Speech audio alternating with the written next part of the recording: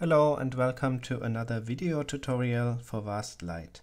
In this tutorial I will explain some of the painting features in Vast. So first of all I have loaded up Vast and I'm using the Kasthuri 11 Neurodata dataset which you can find in the supplementary package. And I zoomed in to MIP level 0 and I'm going to enable paint mode by clicking the little pen icon in the corner. Just say yes in this dialog and as I showed you in the previous video you can just click and drag your mouse or pen to paint something. So first of all you'll notice that our tooltip of the pen is rather large so you may want to change the size of this so that you can get more into smaller regions or if you want to paint something that is actually smaller so to do that, you can use the minus and plus keys on the keyboard. So if you hold down plus, it gets larger. If you hold down minus, it gets smaller. And you can then adjust your pen size like this. Another way of doing this is to use a pen button or mouse keys to change the size. So I mapped the mouse click, the middle mouse click to one of my pen buttons and if I hold down that pen button and then move on the screen up and down I can very quickly change the size of the pen. This is very useful and I'm always using this function to, to change the pen size immediately. So for example we're painting with a different color, this and then change the size and fill it like this. There's another way of filling if you want to have this filled automatically. What you can do is you go over to draw properties and you enable this function fill here. So now if you paint and you paint a continuous line around an object, like this for example, as soon as you close it, it will fill it.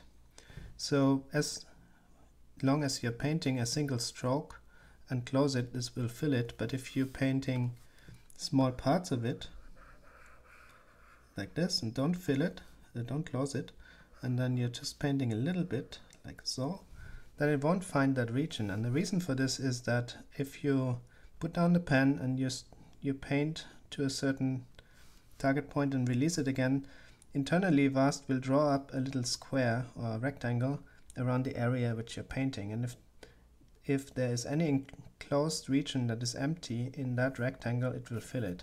So in the case I just showed you, maybe we can redo this over here, where you paint until here and you don't close it. Now it, it looked in this region for anything to fill and it couldn't find anything because this is still open.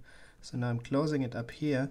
Now the region for searching will just be this small region and it won't find that either because it doesn't look down here. So if you want to fill something like like in this case where you already painted the whole uh, the whole circumference and you want to fill the interior, what you have to do is just draw a single stroke to the maximal extent of your region that you want to fill like this and then it will draw up a larger region, a larger rectangle and then find the region that you wanted to fill.